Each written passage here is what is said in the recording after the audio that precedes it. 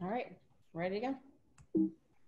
First and foremost, thank you everyone for uh, joining us this evening, and thank you for Maribeth for organizing the information session for parents. Uh, my name is Ken Janczarek, Director of Special Programs for Clarkston. Uh, tonight we're here to talk about Clarkston Virtual, but more importantly, we're here to talk about Pearson Connexus, our online platform for students in grades 6 through 12. Uh, for the 2021 school year, we're going to have right around 700 6th through 12th grade students utilizing this online platform, supported by Clarkston Teacher Mentors. Even though I've shared previously through public meetings, uh, these Clarkston Teacher Mentors are going to be supporting students both educationally and social emotionally. We've talked about the aspects of what they're going to be doing during the week to support students socially. More importantly, we're going to be talking about what teachers are going to be doing through Clarkston to support students um, with their education, support students through the online platform. Um, as early as this week, you're going to be hearing from all of your mentors, and early next week, you're going to have a time where they're going to set up that first social emotional connection to really connect with students. Um, and then we'll go and continue to offer additional information. Um, as we go throughout the evening, like Maribeth had stated, please make sure that you put your comments in the chat, and everything that we don't answer, I'll make sure that we also add into the website for later. Uh, so without taking any much more of your time, I wanted to introduce Maribeth, who's going to talk a little bit more about Pearson Connexus and how, what it's going to do for Clarkston Virtual. Thank you. Um, so I just want to explain a little bit about what the platform is all about, and then I'm actually going to go into the platform so that you can see um, what this actually looks like and understand how to navigate through. So first of all, just at a high level, um, this is a world-class education experience that provides you and your child with an easy to use online learning system, quality curriculum, and individualized attention from your district teachers, as well as a safe and secure learning environment.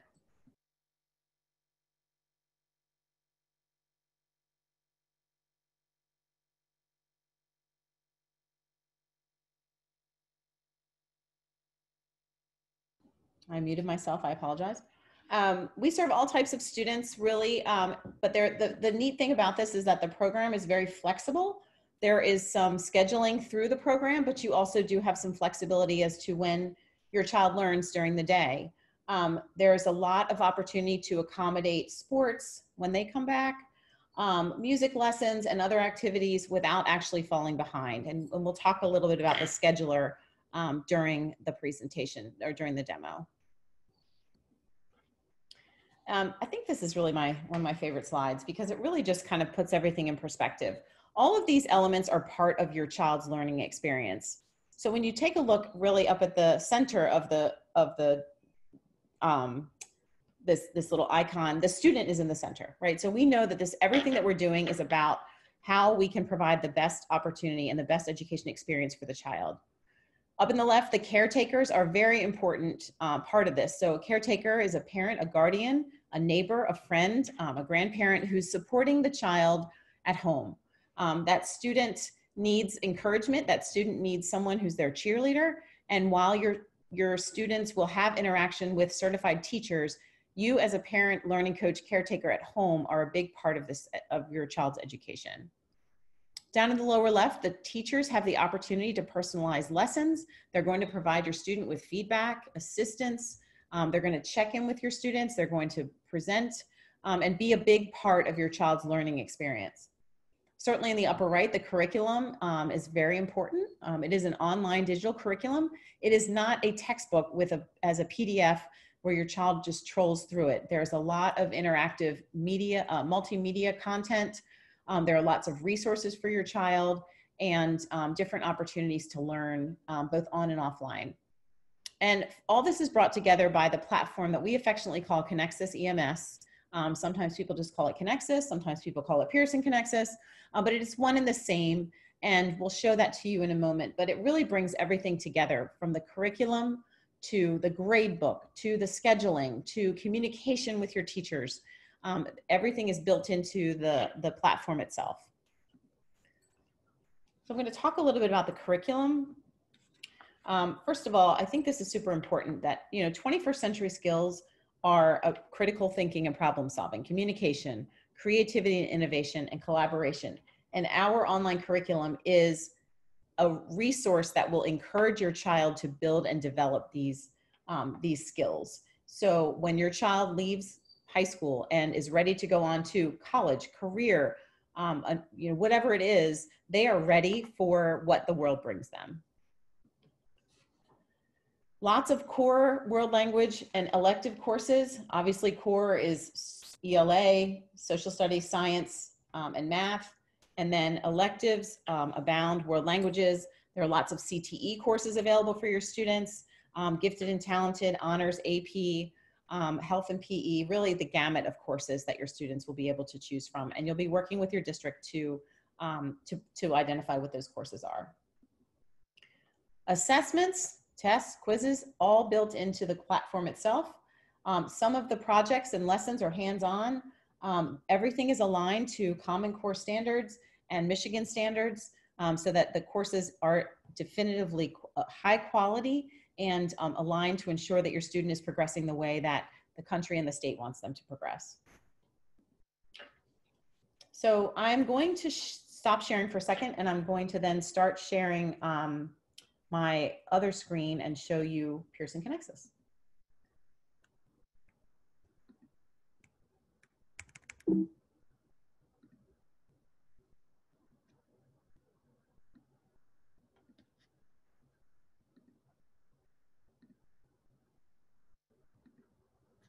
All right, can everybody see this? Sarah, Ken? Yes. Okay, fantastic. So um, this is what a student login looks like. So Charlie is my student up here. Charlie is um, a high school student. He is enrolled in many courses and you're gonna see those courses here. These tiles represent each course that your student is enrolled in. This is a demo, so there is not a ton of data in here, but I'm going to point out the functionality and share with you what your students will be seeing when they actually enroll or when they're actually enrolled in the program. And there are start and end dates assigned to the courses and they start to get into the courses and they're doing their work.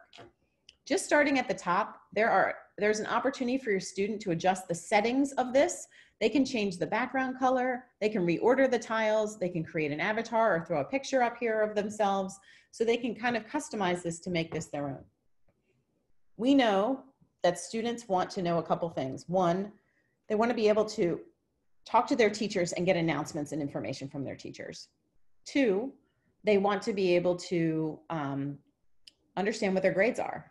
And three, they want to know what they have to do on a regular basis. So we're going to cover all those things. First of all, up here is a little uh, exclamation point. This is where a student might find announcements from their teachers or from the district, from um, any of the team members or mentors um, about the program, about the course. They can also find that here in the activity stream. Um, again, it's a demo, so there's not a lot of data here, but it might show an announcement about a test coming up next week. And the teacher has office hours to drop in and learn a little bit more about mitosis because you might not have understood mitosis, and that's what the test is about. So again, there's lots of opportunities here um, in the announcement section or in the activity stream we're actually over here on the left navigation to see the specific announcements about the courses. Um, the students can also communicate with their teachers via webmail. There's a link here. There's, there's an internal webmail system built into the platform that allows the student to communicate with his or her teachers um, and be able to answer any questions that they have, make appointments with them, um, address anything that they need to address.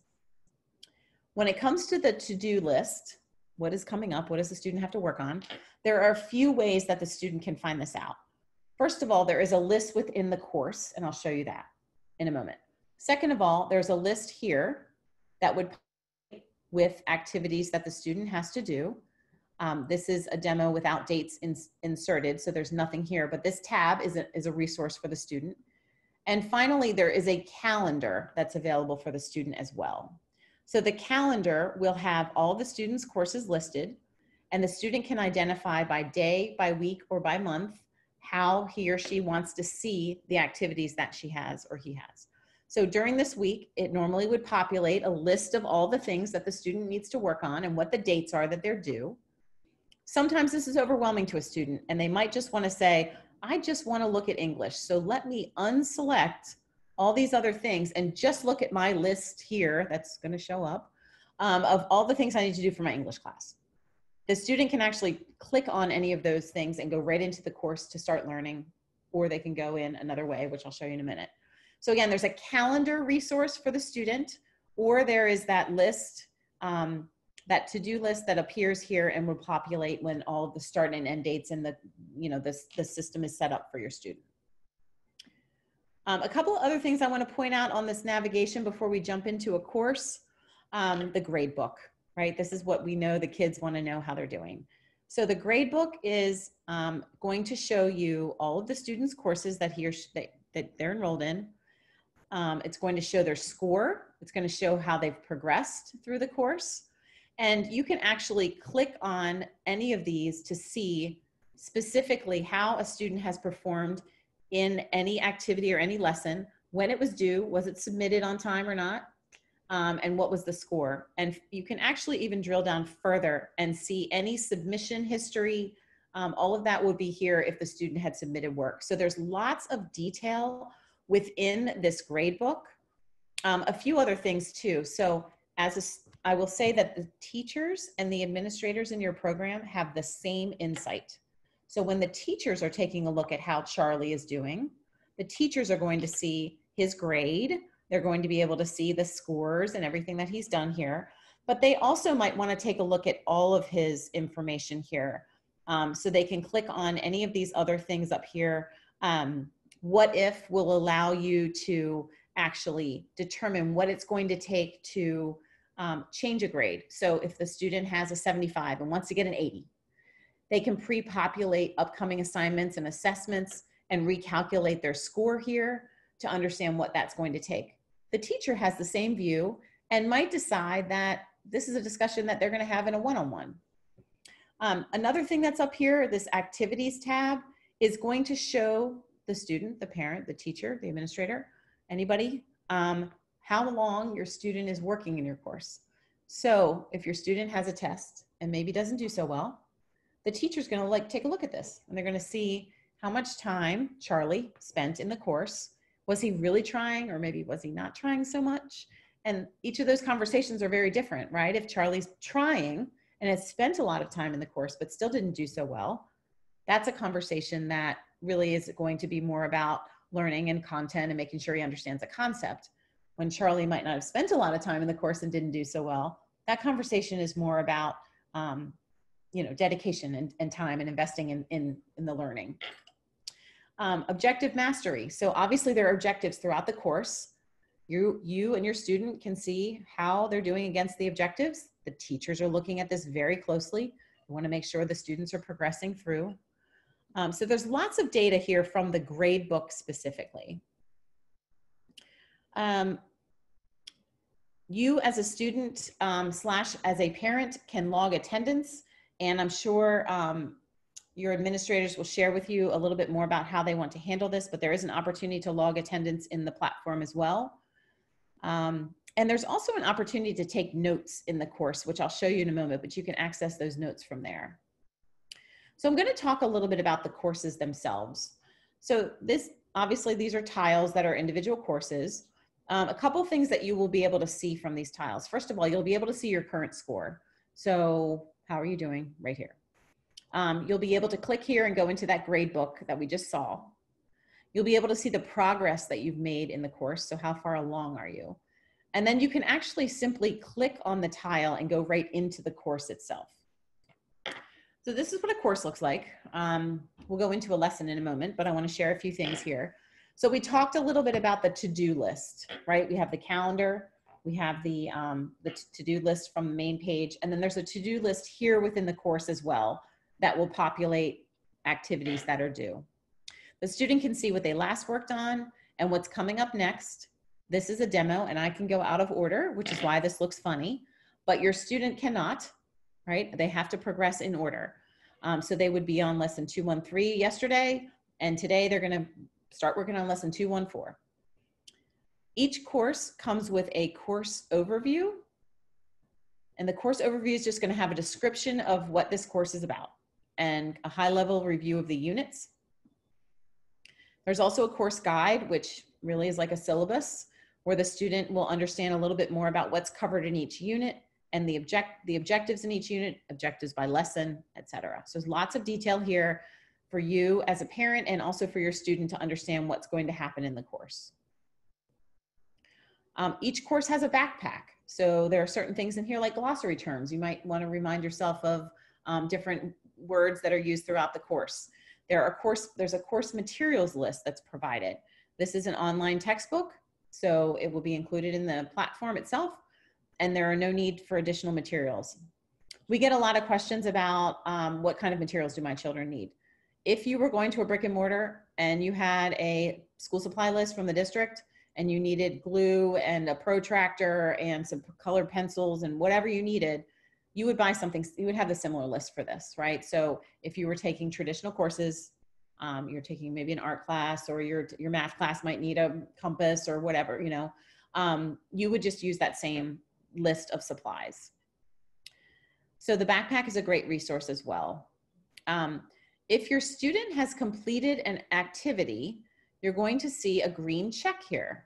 That means the lesson has been complete. Normally you would see green checks all the way down here because the student's gonna go in order, but I wanna point out the green check so that you'll know that kind of it shows you where your place is in, in, the, in the course itself. Um, but I'm gonna just go into a course just so you can kind of, or a lesson just so you can kind of see this. This is um, lesson 213. You'll see we're in the world history course. This is the unit, you can always go back up. And this is the lesson, or this is the um, kind of the, the group lesson within the unit. Um, before we get into the actual content here, I want to point out a few things. This little ear up here is a text to speech feature, and it allows your student to highlight words, sentences, paragraphs, and have them read out loud. Why is culture important? Um, they can highlight a word if they aren't sure of what the word means, and they can have it defined. What is culture? It's the way people live. If they need the word translated, they can translate the word into um, one of five other languages. And all of that can be set in the settings here. So there's translations from six languages to five other languages. Um, so that resource is certainly available to you as well. Um, there's not going to be a lot of text on the page. Obviously, these are students that are very capable of reading and learning on their own. Um, so there is some, you know, there's a decent amount of text, but it's not pages and pages and pages of text all the time. There are videos and other things embedded in the course.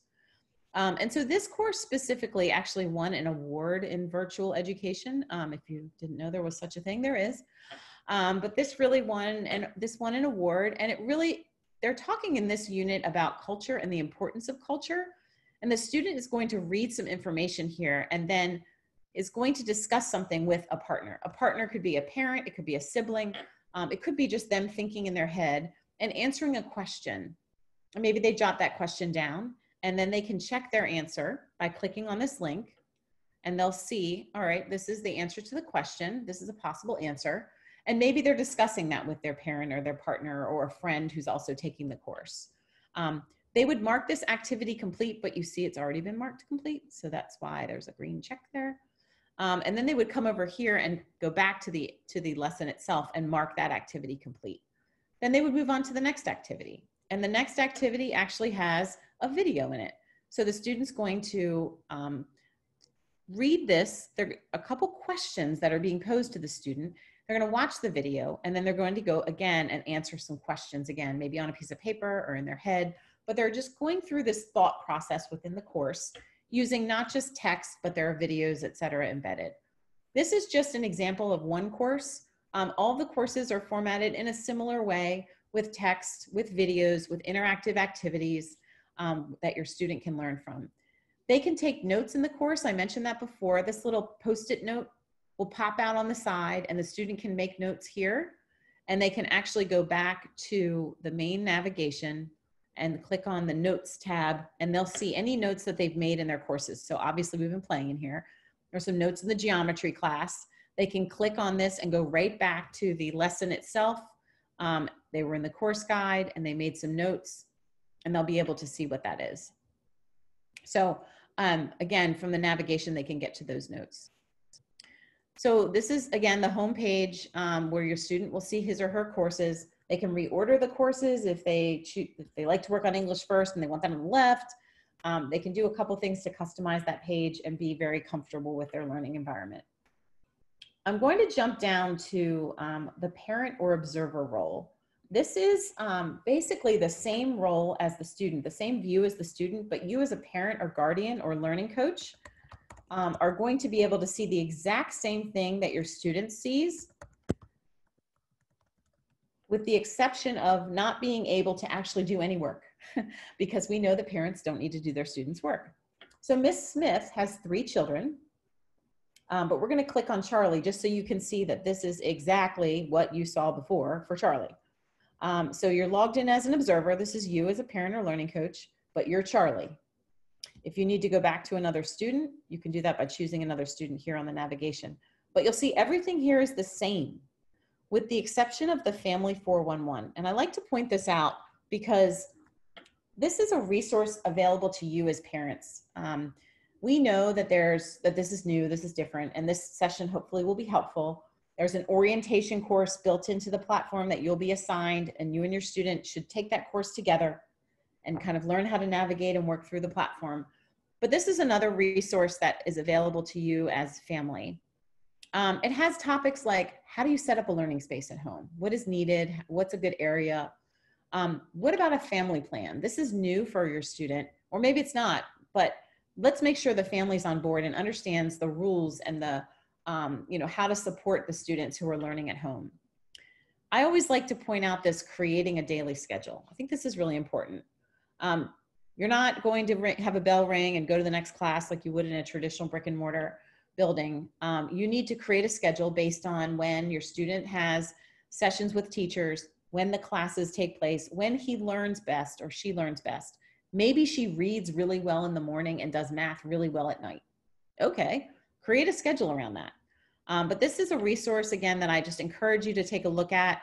How do you accommodate uh, an appointment or music lessons? How do you accommodate multiple students?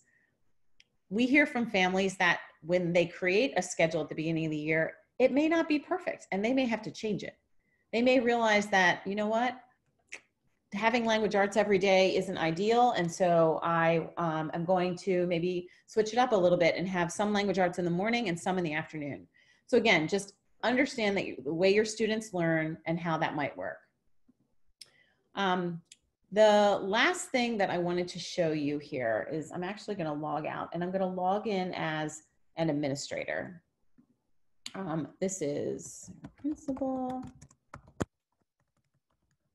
Um, this is what your teachers and your administrators are looking at when they're understanding how your students are doing. This is a dashboard that will show all of the students enrolled in the program and all of the courses that they're enrolled in, how they're doing. How are they doing performance wise? Are they are they passing? Are they at risk of not doing so well? Are they failing? Let's look at these two kids that are at risk, um, Jason and Charlie. They both have a 75 in their course. That's a little concerning. Teachers are going to reach out to those students and talk with them about that. What about from a pace perspective? You remember that calendar. That calendar is going to schedule the, the course activities out through the semester. Well, what if your student starts falling behind and isn't keeping up? This dashboard that your teachers and your administrators are looking at are going to tell them that um, right now it's the beginning of the semester, everybody's doing great, but there's one kiddo, Kiersey, she's behind. Um, so I might need to reach out to her and kind of nudge her along. Um, they look at objective mastery and how the students are doing against all the objectives within the courses. So they're monitoring your students' performance on a regular basis by seeing all this data and ensuring that they're being successful. And if they're not, they're reaching out to them and they're going to make an appointment with them to talk with them about their progress and, and support them as they need to. So that is a very, very high level view of Pearson Connexus. Again, there is an orientation course that you will be assigned. I really encourage you and your family to take a look at that. Um, spend a little bit of time, feel comfortable in the platform. It's, it's a little different than a traditional classroom, of course. Um, and so just really spend some time getting to, you know, getting to understand how this works go into that family 411 and read through some of those things um, because this is this is a great way for your students to learn um, but there you know and there are some resources available to support you including the staff at the district so i'm going to stop sharing and um, guess we can kind of tackle some questions. Yeah. So I um, thank you, Maribeth. I've been keeping track of most of the questions in the chat, um, and so I'm just going to go ahead and call a couple of those out, and um, perhaps you, between you and um, between the two of you, hopefully you guys can provide some answers on that. So I'm just going to start from the top of what I've got and go from there. Um, one of the questions asked, if a student is signed up for band and returns face-to-face, -face, will the virtual student still have a remote option?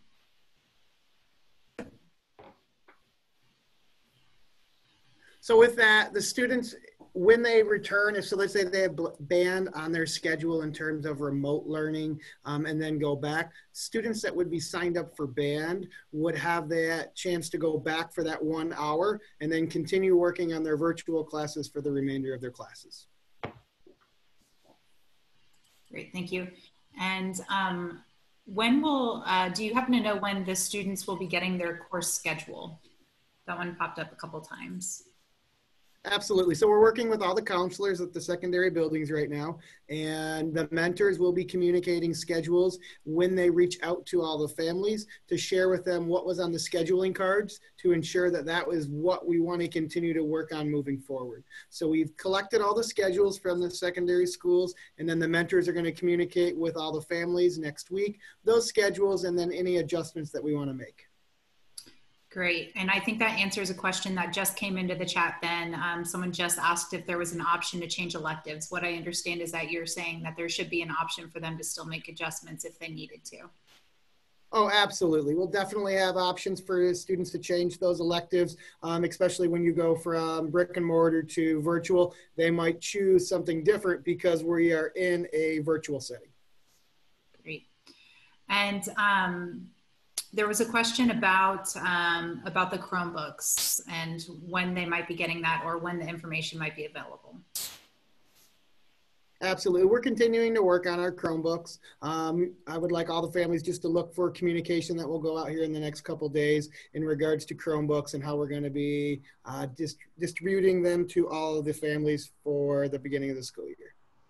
So look for communication tomorrow or early next week.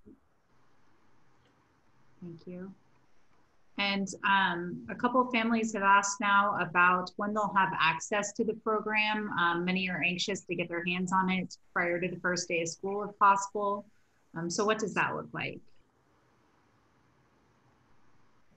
So we're working to get the login information for the students right now put in the system as well as their classes. Um, I don't believe they can start their classes until this first day of school as when they're put in the platform. Uh, we utilize the first day of the semester as well as the end of the semester. There are some additional online supports that families can go on and I put some resources on the website for you to kind of go and observe the online platform to see what it's all about and law, not really log in, but just see all the resources that there are. But in terms of logging in early, we don't have that capability because the students wouldn't be starting until then. I would like to let the families know that I've been working with all the mentors and talking with them about when we start the beginning of the school year to make sure that we're conscious of that of working with the families in terms of understanding the platform, learning the platform at first, so we can then be successful during the school year, rather than trying to go 100 miles an hour, making sure that we're supporting those students and the families of how they're utilizing the platform. Thank you. And will there be a separate virtual Clarkston eBlast sign up on Clarkston calendar for announcements, or is it only going to be within the program, the Pearson Connexus program? I'll work with um, Mary Ellen in terms of that information of how we share things out. We're going to continue to share things out via email. Um, I'll be sending things out to families. This won't be your only opportunity for a training. This won't be your only chance to hear from me and to get additional information. I'll continue during the semester to utilize my mentors and my staff here to share information out. In regards to e-blasts and everything, I'll work with Mary Ellen and the central office staff here for that. Thank you. And um, we've had some questions about um, just the pacing of the courses. Um, some questions related to, you know, if a student completes their work in four days versus five days, Um, is that acceptable or what does that look like for them? And then also, is there um, an opportunity for additional progress in addition to what they may already be taking if they if they complete sooner? Perfect. Absolutely. There's opportunities for families to and students to work within a four day, four rather than five days. Everything um, Maribeth talked about in terms of that progress and everything, the students will be able to see where they're at with their classes, what's due, what's coming up. So if a student was ahead, absolutely, they could take some time um, to really take maybe a day off, maybe a long weekend. If it was a family trip somewhere, um, you could tell the students just get ahead with your work. So when we're on the family trip, you don't have to work. Now, with that being said, let's say they didn't catch up within those four days, they could have that opportunity to work on the weekend because it is virtually. Um, so yes, there's that opportunity to finish early and get ahead with their schoolwork.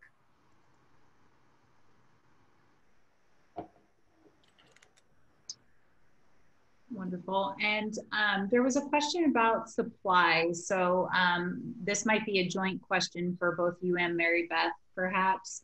Um, but the specific question was since the list of supplies is by teacher they would have in brick and mortar, um, where should they look for any supplies that they might need?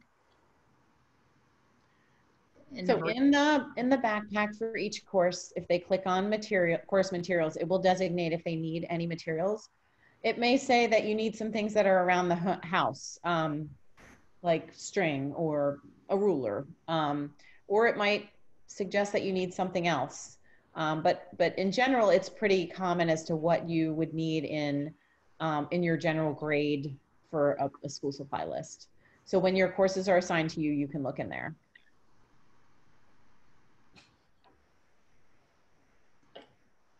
Thank you. And um, there was a question about video lessons for um, specifically math lessons, but I think it probably applies to other courses as well. Um, are there going to be video lessons either by, um, by the teacher, like a, a live lesson of some sort provided to the students or recorded for them?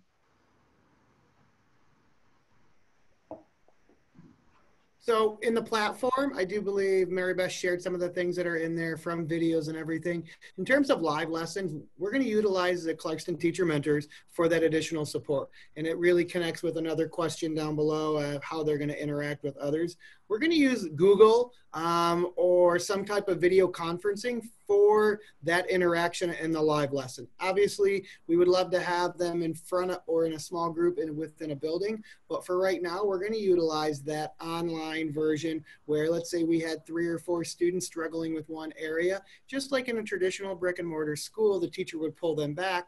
For virtual, we would just invite them to a meet like this or have it individually. Um, we also talked about that social emotional side of things, and a question just came up about that. We're going to utilize the Google Meet, the video conferencing for that type of interaction with the students. Thank you. Um, so there was a question earlier about um, accounting for the summer break. Um, specifically, do the, the courses or the program have any built-in review from the prior year's class? I think maybe talking about potentially addressing any gaps and making sure that the student is placed correctly might be might be what we're leading at. So with the online platform, if a teacher was to notice a student was struggling um, with what they were working on, that teacher mentor could then take additional content to support that student ahead of time. So if they were in a algebra course and due to being away from school for a period of time and then the summer break, they were really struggling in that area, that mentor could really move into one of two directions. One would be assigning additional work for support to get the student caught up like we would in a traditional brick and mortar, or pulling them in and doing some additional small group work to make sure they have the foundation information to then move forward.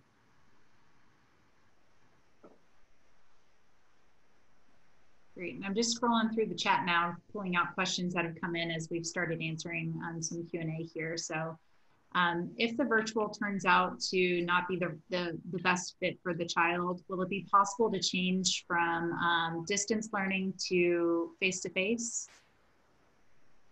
So at the semester break, we will have an option for families if the virtual for really one of two things. If things clear up and families were interested in moving back into the brick and mortar like our plan is, then absolutely at the semester break, that'll be an option for families.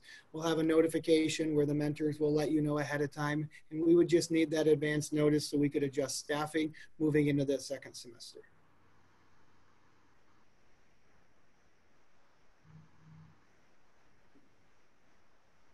And um, I'll toss this one out to both of you. Um, can we use our own computer or Chromebook? There were some questions earlier about um, utilizing Apple devices as well. Um, so maybe just speaking to a little bit of, of what you can use outside of maybe the school provided Chromebook if, if they chose to, I suppose. In terms of the school standpoint, absolutely. If a student was to wish to use their own device in terms of the online platform, they would just need to make sure they had it was internet capable, and they would be more than happy to use their own device with it at home.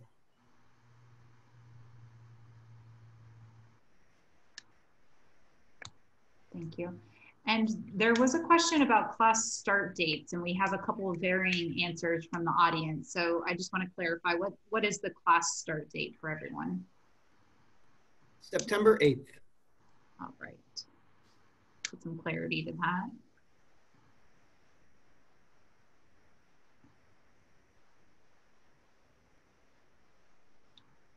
Um, there are some questions about how do we add multiple, maybe multiple emails for a parent account, um, kind of being information being pulled from parent view. Um, basically, I, I, think some people are wondering if they can have multiple observer roles um, access the program.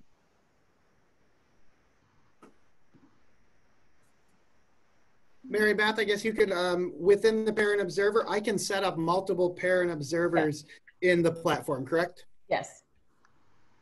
Absolutely. If, if the um, child is living, you know, it has two different homes, then those two different parents can absolutely have two different addresses.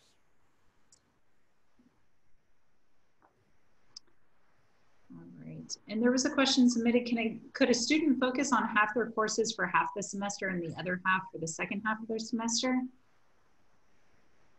Absolutely. Uh, my only recommendation would be try to add in some classes that are maybe a little bit more challenging with some that they can find a little bit more success with. I would hate to have a student hold off on working on their more challenging classes till the end of the semester and then struggle to have everything completed. And I apologize if you've already addressed this, but we've had a couple of questions come in about IEPs and additional supports that might be provided for those students. Absolutely. So we've, we've gone over that a little bit within our couple board meetings, but I'll try to give a quick overview. We will have additional staff available to help students with their IEPs. We will continue to meet um, those individual students' needs. So let's say we had a student working within the online platform um, within their algebra class. They would have not only the mentor to connect with to get additional support, they would also have their um, special education teacher there for additional support. Thank you. And here's a, a, pretty pointed question. How will the transition from online to in-person at the semester break look if a student decides to take a class such as an AP class that are scheduled as one semester in, in Pearson, but two semesters in person? Um, they specifically noted AP government and AP microeconomics. Um, would they just need to complete half of it by the semester break? What would that look like? Absolutely. Uh, we've been talking about that with the team here, and we are going to work with dividing that up to ensure that we're aligned as much as possible as the student goes back to at the semester break. The great thing is with the virtual platform, um, regardless of how much is completed within the AP platform, um, the new teacher within the AP class, let's say we were to go brick and mortar could have that additional data of what standards were covered, what information was taken care of, and how that student did to then continue to progress and move forward. And there was one about uh, which one do students use, the Pearson Connexus or the Observer app. Um, or observer role. So the observer is actually specifically for um, the families or somebody overseeing the student. So the student would utilize their own login to access Pearson Connexus that is separate from the, the observer role.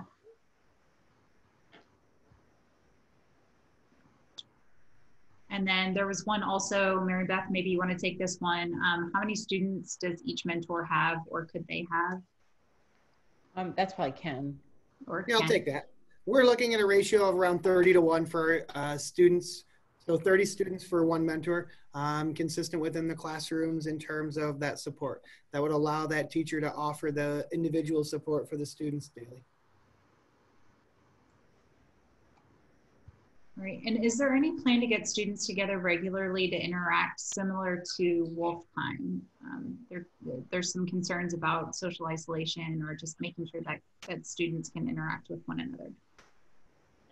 Yes, we do have plans for that. Uh, we were just talking today in regards to some additional platforms and, and some things we can do um, as early as the elementary as well as high as the um, secondary students in the high school, finding a way for them to interact, even if it is a way for them to connect with other- students taking their online classes or similar classes, that they could work together.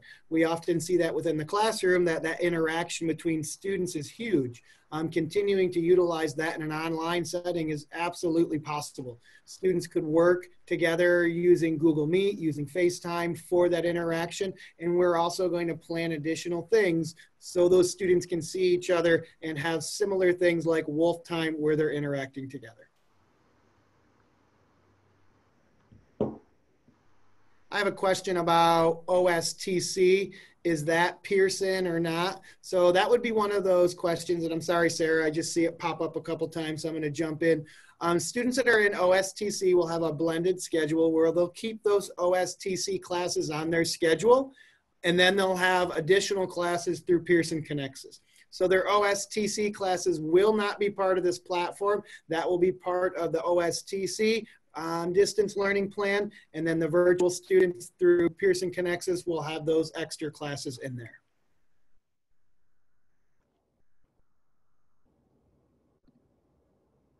Students will have one mentor for all six classes, but they will have additional teachers of record, which will be uh, teachers that specialize within that content area for them to support.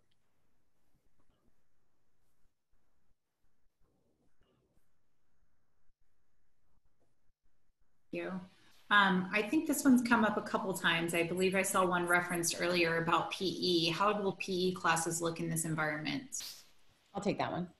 Um, so really it's, um, it's a student log. So there will be um, a description about what the student needs to do in PE and they will need to log that on a regular basis um, and report in to their activities.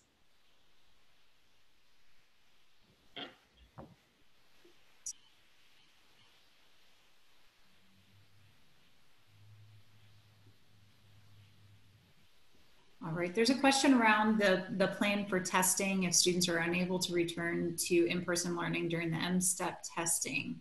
What is the plan? As of right now, that is an MDE um, decision in terms of what we what we're going to be able to do. If we continue, if we were to go back to the in-person like we'd like to, um, absolutely that we would come up with a plan for the M-STEP testing. Let's say at semester break, you continued to be a virtual student. Um, even if we went back and there was M-STEP testing, what would happen is, is we would then schedule the M-STEP testing.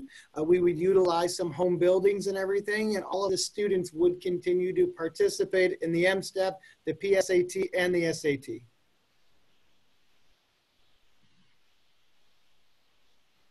Thank you. And are students able to take um, some classes through Clarkston Virtual and others through the distance learning option? we had some programs that we that we were able to work with some specialized programs like OSTC, which allowed students to be part of both the OSTC program and Clarkston Virtual. Great. And it looks like there's some concern about um, someone reaching out in regards to selecting classes. um, some families haven't heard back yet. I think we addressed this maybe earlier, but if you might speak to that just quickly again. Absolutely. So we're working with all the counselors in the secondary buildings um, to pull all those schedules. Your mentor that will be reaching out to you will have a copy of those schedules um, when they reach out to you next week. And what will happen is one of two things. Um, the mentor will go over that schedule with the family, and the family will say, absolutely, that's the direction we want to go, or there might be some changes to it. Once those changes are made or reflected, uh, we would then just have to go in and adjust them in our online platform for it. So if families were perfect for it, that would be great. We're also going to have to make sure we focus on, especially in 912, those graduation requirements. So there may be classes in that schedule that have to stay on there to make sure we're moving towards graduation.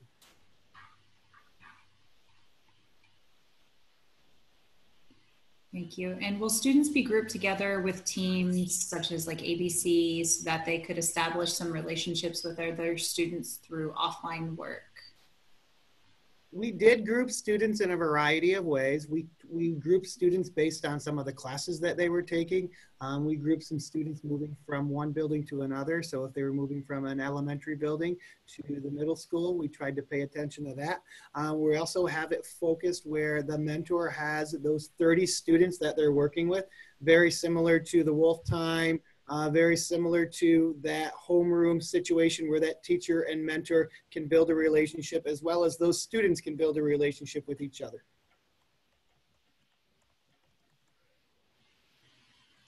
Thank you. And do students ever meet in person with their mentors?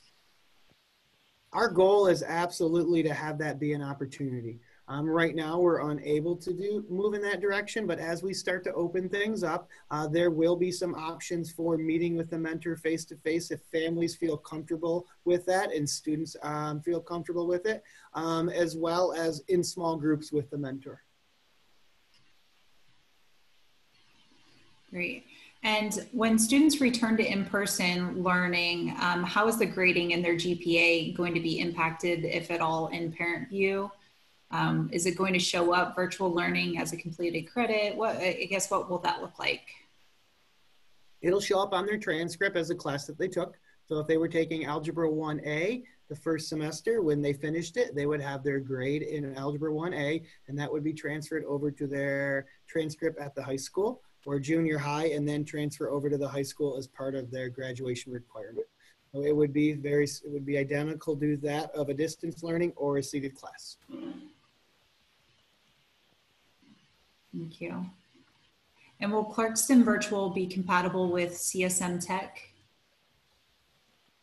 So Clarkston Virtual will not have CSM Tech classes, but CSM Tech was one of the programs that we were working with to ensure students could continue to work in that, but also be part of the virtual program. Thank you. And do Clarkston Virtual parents still utilize Parent View?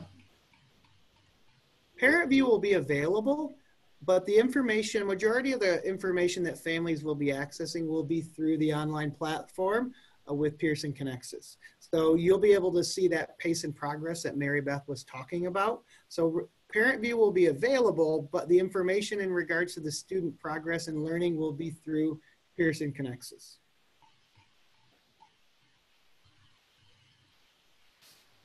Great. And um, one one individual asks specifically about a construction tech program that their child's been in for the last two years. It's an, a two-hour block with math combined. Um, given that this is a, such a hands-on course, what does that look like now and uh, for virtual and or distance learning? Well, it wouldn't be part of the virtual as a virtual option, uh, but those individual teachers will work to make the best environment possible within the distance learning as we start the school year.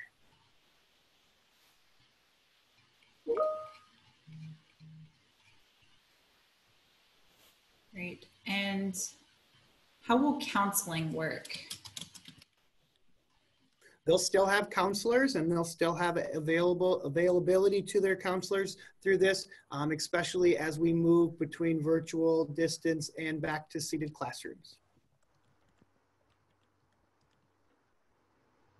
All right, and is Pearson Connexus um, available on iOS devices? I'll take this one. Um, not, it does not function well on an iPad. Um, you, I personally have a MacBook and um, I've used it there. Um, there is some Flash embedded in the courses and you will need to enable Flash in your browser. Um, I'm going to say that again. You're going to need to enable Flash in your browser. I'm to say it one more time. You're to need to enable Flash in your browser.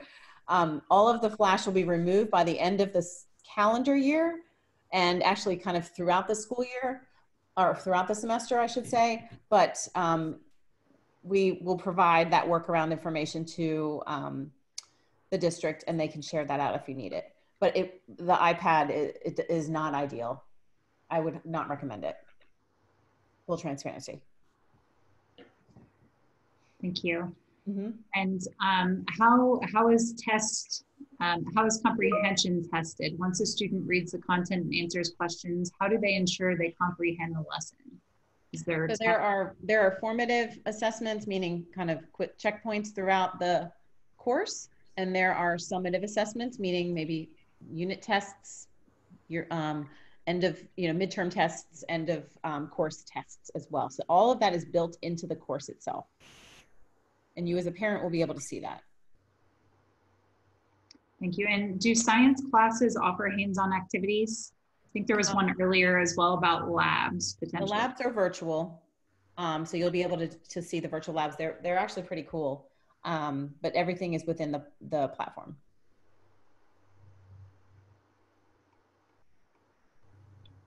Great. And will you all follow CCS school calendar for holiday breaks, etc.? Absolutely.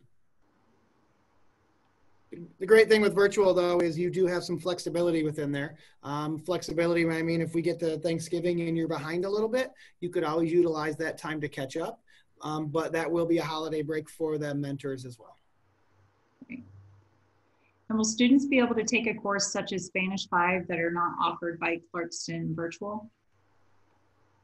we do have capabilities of utilizing additional online providers for some of the classes like those higher level higher level foreign language classes and i can work with mr rocco in terms of that individual student to see what we could do the only downfall to that would be you'd have multiple platforms to log into but more importantly we'd have the capability to support them in a virtual format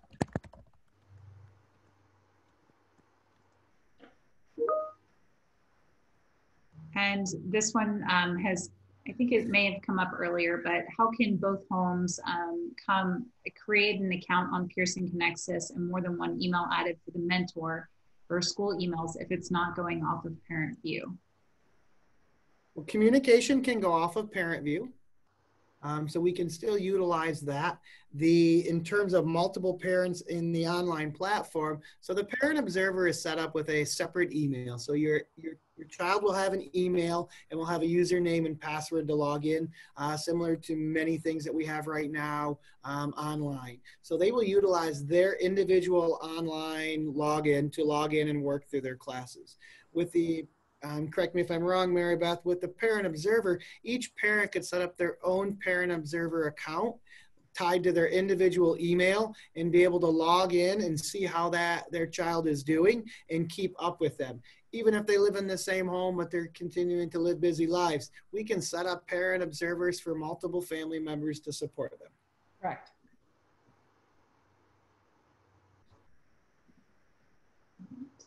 And can students retake a test or do test corrections?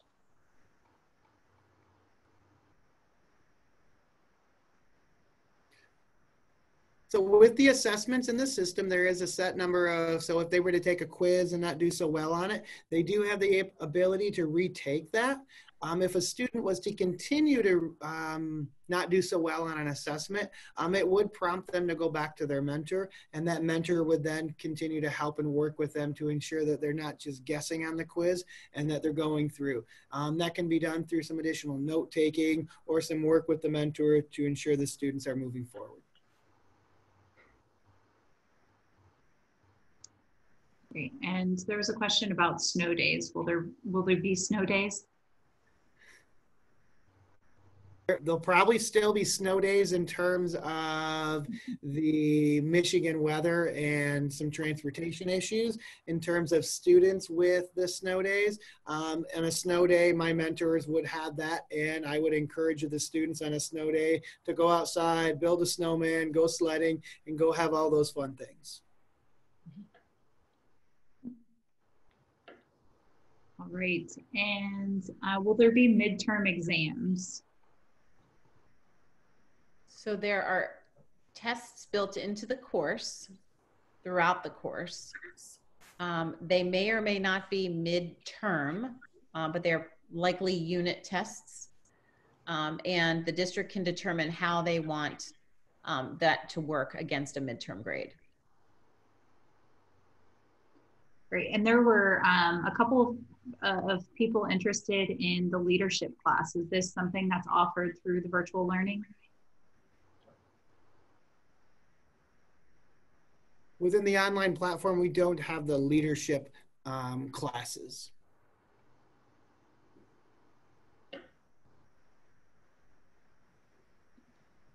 how are honors classes offered um, or translated to the virtual classes such as honors biology for junior high students? So within our within our uh, course catalog uh, through Pearson Connexus, we have not only the traditional courses, but we have additional classes. I'm not quite sure the wording on them, Maribeth. You may have to help me on this one. Um, but we do have like fundamental classes for to getting students ready, as well as advanced classes in our content areas. Right. So there are um, kind of general core classes. There are um, GT classes from, I believe, third to eighth grade, and then honors and AP in ninth through 12th. Um, the great thing about virtual, and you'll have to work with your mentor and your counselors and the leadership at the district, um, but there is a lot of you know flexibility in how your student is enrolled depending on their grade level. Um, and again, working with the district, but if a student is a third or not third grader because you're middle school and high schoolers, your student's a seventh grader, but maybe reading on an eighth grade level, there's flexibility to be able to address that in virtual. Um, you need to work with obviously your placement, you know, during the placement process. Thank you. And there's been a few questions about um, tests and quizzes, just making sure that students are, um, or I guess, are they able to use their notes? Are they closed book? Um, how are we ensuring that there's no cheating taking place? From our perspective, um, we hope that students are being honest. Um, we are going to know, your teachers are going to know how your student has done throughout the course. So if your student has done well during a course and during the, you know, the formative assessments and then does well on the regular assessment, then, you know, there's, there's that honor, that integrity that we're trusting your student. If your student has done poorly throughout the class and suddenly gets 100% on a, a test, that might be something a teacher takes a look at. Um, so that's from my perspective, from the Pearson perspective, the student's not locked down in a test. Um, they, they need to be honest, just like when you're, you know, kind of taking a test at home during the regular um, semester, you might be home doing some work. Um, I think the teachers are probably checking in and ensuring that the students are doing their own work. The teachers can see how much time the student spent in the class. So if the student is not spending a ton of time, you saw um, during the, in the grade book, um, where you can see how much time a student is spending in the lessons. If they're not spending a lot of time, but they're getting 100%, hmm, teacher might take a look at that. So there's kind of some checks and balances built into that. Um, but we really encourage your students to be honest and, and, and you know, maintain the integrity of, of the concept. Can and I'll work with my mentors on that. Um, I've been working with virtual for about five years now, so I'll continue to work with my mentors that we're bringing on to support them with that, to support them with additional training to look into that pace and progress, uh, support them within some of the easy things that we can do as educators, which would be cut and paste in Google, and it can show us where things come from. Um, so we'll work with that. We'll work with the students on plagiarism, inter, as well as uh, those things that they might think they can get away with, but we have some capabilities to work with them on.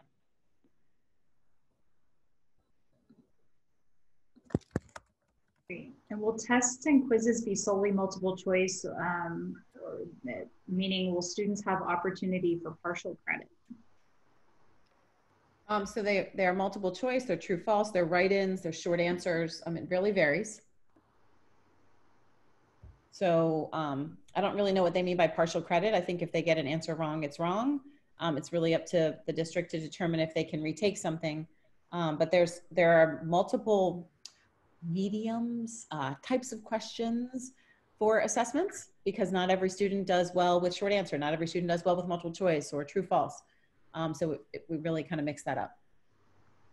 I'd like to elaborate on that a little bit. We also have the flexibility within the mentor if the student was struggling with something, um, but the mentor pulled them aside and worked with them on that. That mentor would also have the capability to adjust that grade in the grade book. So they might have failed a quiz, but very, just like in the traditional school, that teacher pulls that student back in this situation, it would be virtually. They could work with them and then adjust that score moving forward or allow them to take the quiz again.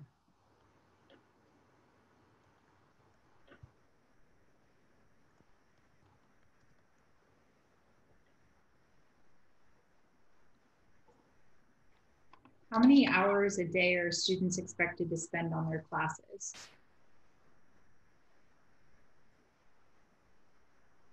I would say we, I don't have an expectation in terms of the hour number of hours a day a student has to sit in front of the computer and work. I will say that my mentors are going to work with the students in terms of having a healthy balance of not trying to sit down for multiple hours at a time. I know personally, um, I'll be working with my my two boys in terms of setting up a uh, rotation and a schedule to do some physical activity to get away from the computer screen. Um, I do know in the beginning of the semester, just like everything, we will have a learning curve. We will have a learning curve in terms of understanding the platform and how to manipulate it, understanding when do I need to contact my mentor for things to be reset. I think in the beginning it might take a little bit longer to get things accomplished, but as we move through the semester and as we continue to work with our mentor, the amount of time it'll take to move through some of the things will lessen. I would say in terms of the amount of time, we're going to use those assignments and we're going to use those assignments in terms of those due dates to really determine the amount of time working. If your child is extremely struggling in an area and spending hours and hours and hours and hours, that's a conversation with the mentor. Maybe we need to adjust the content. Maybe we need to adjust the class. The last thing we would want is a student trying to spend four to five hours a day just in one class.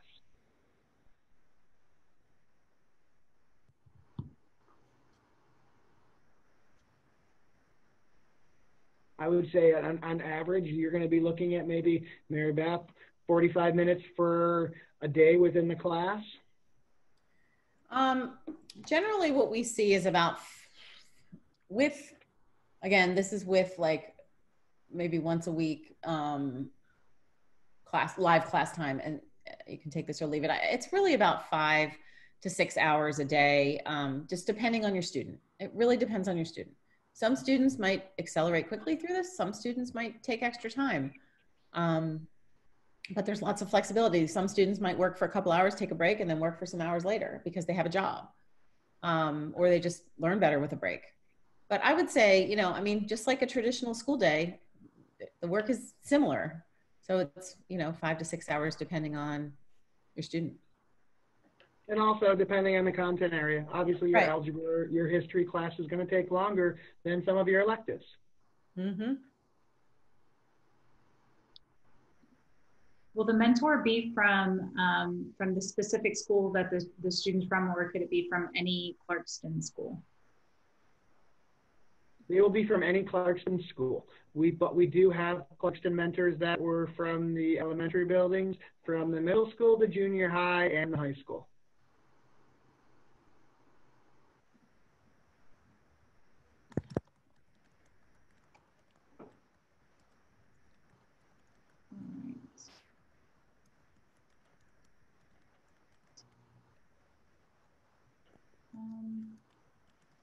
So if a, if a parent has multiple students, um, for instance, this one with a sixth grader, uh, will they, and an eighth grader, will they have a SMS mentor and also a CJHS mentor then? With a student in the sixth and the eighth grade, they would have different mentors.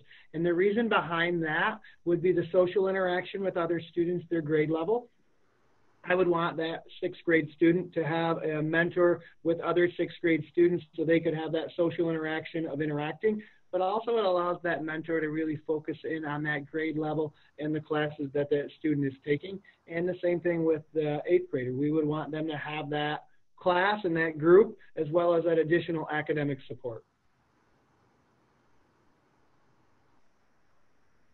And is there an opportunity to change mentors if requested? It really depends on the situation. It really depends on what's going on. Um, our mentors have spent a great deal of time um, dividing the students up, utilizing the information we have from every avenue possible to ensure that the teachers are um, equitable with the number of students, but also where the students are coming from. Changing them afterwards would be challenging, um, but I'm always open to have a conversation.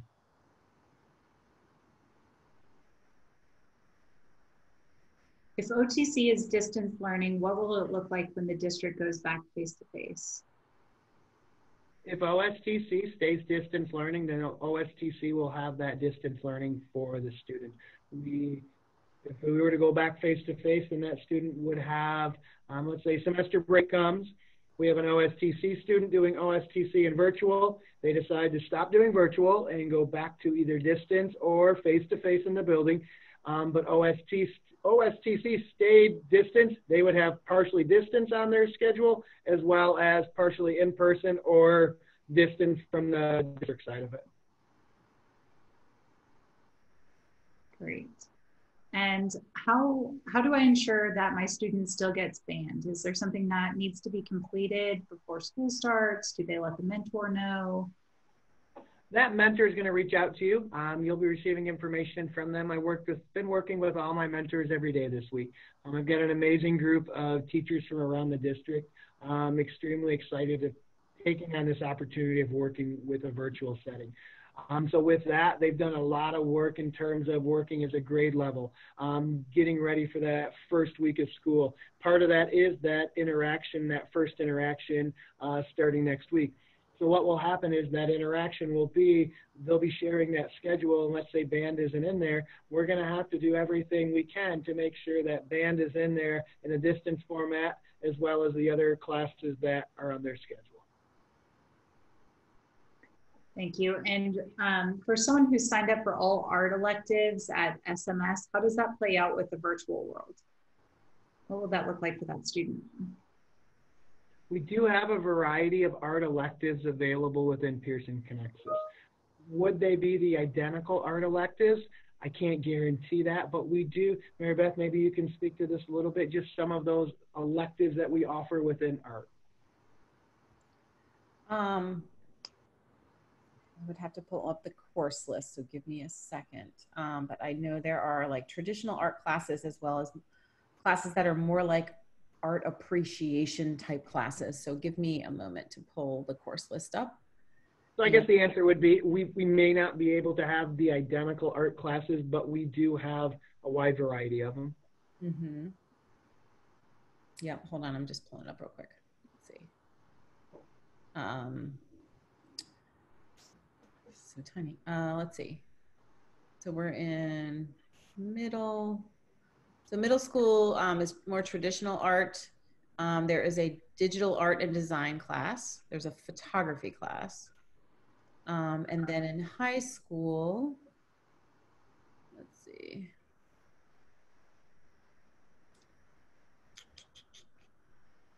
I mean, there are so many different electives in high school from game design to, I mean, there's just so many different types of art-ish type classes um, art history, art and world cultures, anthropology, it's not really art, a little bit history. Um, so there's really, I mean, there really is a wide variety and you can work with the district to identify what's best for your child.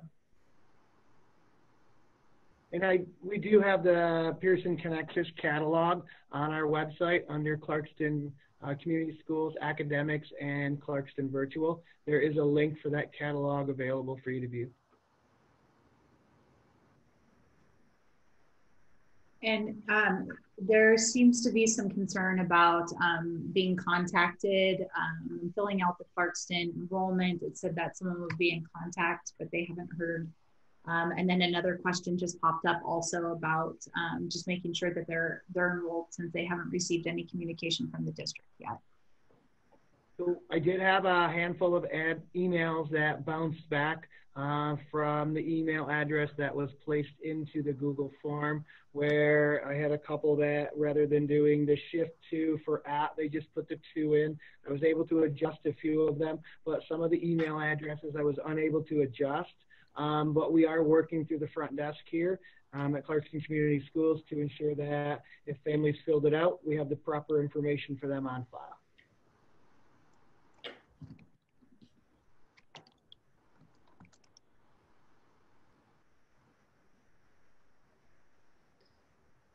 Is there any way to have the description of the classes listed in the catalog as well?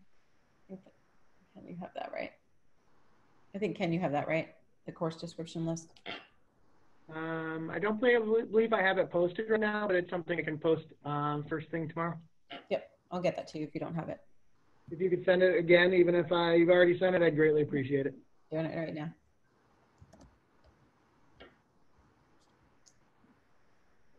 All right, Sarah, do you want to, we can pull the chat and answer any additional questions.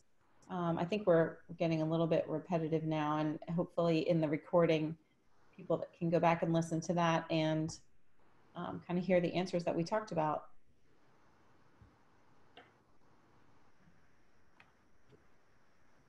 So before we end, I just want to, I've been going through the chat, trying to stay live with it. In addition to all the questions, um, appreciate your time tonight. But I also want to just put a big thank you out there. Uh, a lot of positive comments for the staff here in terms of at Clarkston Community Schools for uh, what's happening. We really appreciate those comments that are being posted in there. They're not being ignored. Uh, that means a whole lot for not only myself, but also all the staff working here and all the programs.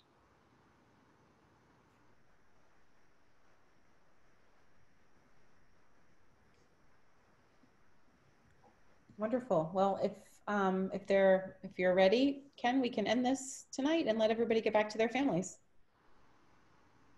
Absolutely. Thank you very much, Maribeth. Thank you, Sarah, for put, hosting this, helping all the families out, get a, a fresh start on Pearson Connexus and everything. Once again, thank you all the families for participating, sharing your questions and everything. I'm looking forward to a great semester in school year. Thank you. Thank you.